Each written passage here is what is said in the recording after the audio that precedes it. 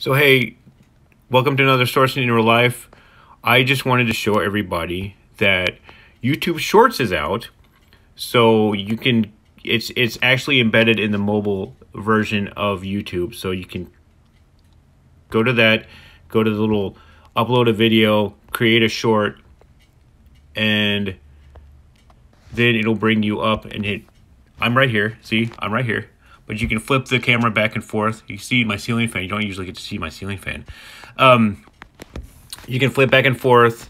You can have it facing towards towards you or facing a, a screen or somebody else. Um, very much like TikTok, you can add music, and I'm going to do this really quickly because what happens is it, the music will play over because this is a mobile app, so it's it's kind of loud. So, but you can add music.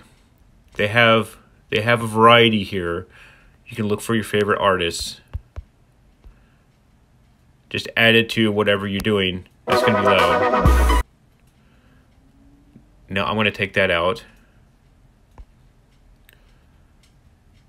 Um, you can add you can speed up the video which is great because I can do I can I can I can do five minute hacks this way you can add filters very basic. It doesn't have all the cool stuff that TikTok does have, but I mean, it's it's something that's very easy to use. I've noticed. So like I can record and just just you know like if I had music playing or something like that, I can make a, a quick marketing video or something like that.